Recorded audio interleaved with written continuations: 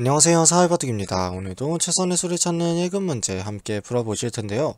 오늘 문제는 이 갇혀있는 흑 넉점으로 수상전에 역전하는 문제입니다.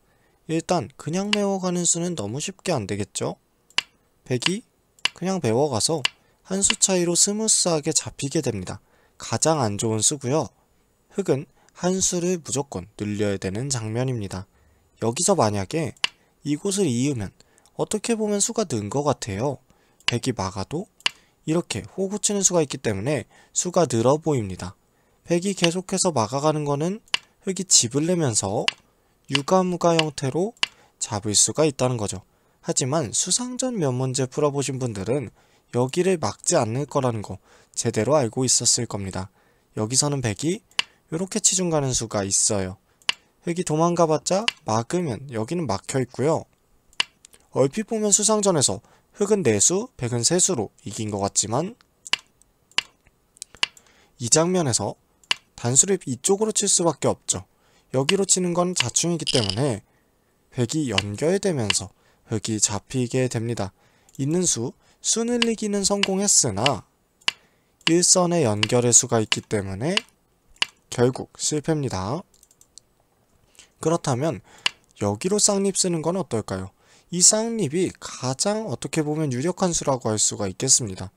백이 마구잡이로 이렇게 메워가는 거는 흙이 한 수 늘리는데 성공해서 쉽게 잡을 수가 있다는 거죠. 여기 쌍립 생각하신 분들이 굉장히 많으실 거예요. 그렇다고 바깥에서 메워가도 흙이 이쪽을 잇지 않죠. 이렇게 되면 아까 치중을 당해서 잡힌다고 말씀드렸는데 지금은 뒤쪽에서 메웁니다. 바깥에서 메워도 또 뒤에서 두면 메워봤자 단수죠. 역시 잡혔습니다. 흑의 쌍립 굉장히 강력해 보이는데요. 백도 여기서 강수가 있습니다. 여기를 이렇게 붙여가는 수가 좋은 수예요. 그리고 이 다음 수가 흙이 없습니다. 여기서 일단 흙이 안쪽을 막아서 수성전을 하는 거는 백이 찌르고 이어서 3번으로 막는 순간 흙의 수가 한 수 줄기 때문에 요거는 흙이 한 수 차이로 잡힐 수밖에 없는 모습이고요. 그렇다고 이곳을 탈출하려고 두는 거는 마간 잡은 주면 여기를 끊어서 흙이 가능하겠지만 여기를 뻗어서 두면 그만이죠. 탈출이 불가능한 형태입니다. 그래서 흙도 여기서 최강으로 두려면 이곳을 막고 둬야 됩니다. 백이 이어만 주면 아까처럼 한 수 차이로 이겼다. 이게 흙의 의도가 되겠는데 지금은 여기에 둘때 일선을 밀어버리는 순간 흙이 대책이 없어요. 막자니 단수 치고 단수 맞아서 잡히고요. 단수를 맞기 싫어서 이곳을 잇자니 이번엔 젖혀갑니다. 끊을 때 이으면 잡았지만 뒤쪽에서 모는 수가 있어서 잡히게 되죠. 안 되고요.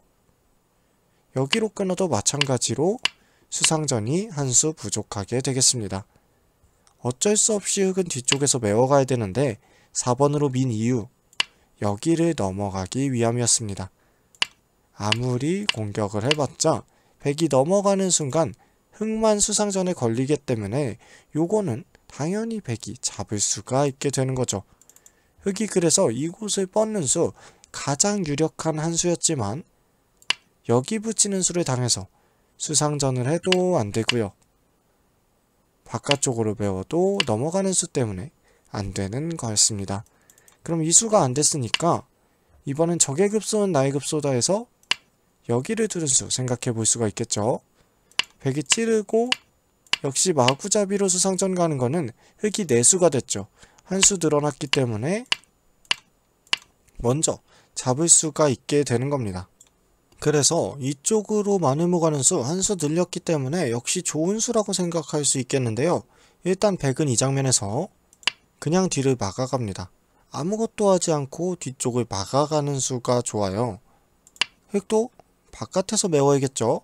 아까 안쪽으로 메우는 거는 한 수 줄어드는 걸 확인했기 때문에 바깥에서 막아서 버티는 게 가장 유력한 버팀입니다. 여기서 만약에 백이 맥점이랍시고 이렇게 붙여서 넘어가주면 이거는 땡큐예요. 단수치고 뒤쪽에서 메워서 자충처럼 보이지만 흙이 오히려 뒤로 친다면 100을 다 잡을 수가 있습니다.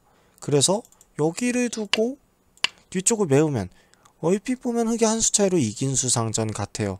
하지만 100은 지금부터가 시작이죠. 여기서도 마찬가지로 일선을 미는 수가 있습니다. 한 칸이 벌려져 있지만 아까랑 똑같아요. 흙이 뒤쪽에서 두는 거는 단수를 맞아서 너무 쉽게 잡히기 때문에 버틴다면 이곳으로 버텨야 되는데 또 한 번 밀고 들어갑니다. 막자니 단수 치고 바로 잡히고요. 그래서 흙은 뒤쪽에서 둬야 되는데 이때 이렇게 넘어가 버리면 패를 피할 수가 없습니다. 결국 이수도 붙여서 이도를 어떻게 살릴 수 있는 수는 없다는 거예요. 그렇다면 정답은 어딜까요? 해볼 수 있는데 다 해본 것 같은데 딱 한 군데를 안 했습니다. 지금까지 해본 데를 체크해보면 여기 있는 수, 쌍립, 마늘모까지 세 군데를 해봤고요. 마지막 한 군데가 남았습니다. 그 군데가 정답인데요. 바로 이 자리입니다. 이 이후의 수읽기 한번 영상을 멈춰 보시고 풀어보시는 것을 추천드립니다. 정확한 수읽기만이 이도를 잡을 수가 있습니다. 여기를 두는 수 일단 100이 가만히 막는 수는 이 자체로 수가 늘었죠. 흙이 잡을 수가 있습니다. 거기다가 뭐 여기까지 호구 치더라도 수상전에는 아무런 문제가 없습니다. 가만히 이어주면요. 메워도 일선으로 넘어간 것 같지만 단수 쳤기 때문에 흙이 먼저 잡는 거죠. 100은 이렇게 막진 않고요. 여기까지 버텨가는 수가 최선입니다. 흙이 이을 때 여길 젖혀가면서 막더라도 이렇게 단수 쳐서 먼저 잡을 수 있다. 그런 의도입니다. 어떻게 보면 흙이 굉장히 곤란해 보이기도 한데요. 여기서는 정말 모르는 척 하는 게 가장 중요한 상황입니다. 아무것도 모르는 척 하고요. 이걸 잊지 않고 그냥 뒤쪽에서 메워가야 돼요. 이쪽을 붙여서 응수할 수가 있겠죠. 끊으면 역시 단수 단수에 걸리게 되면서 잡히지만 여기서도 아무것도 모르는 척 하면서 뒤쪽을 메워가고요. 이으면 잡기 때문에 메워간다면 그때 단수를 쳐서 백이 잡힙니다. 상대를 안 해주는 게 이번 문제의 핵심이었고요. 일단 첫 수 가장 둔탁한 이 빈 삼각을 보는 게 이 문제에서 가장 중요한 장면이었습니다.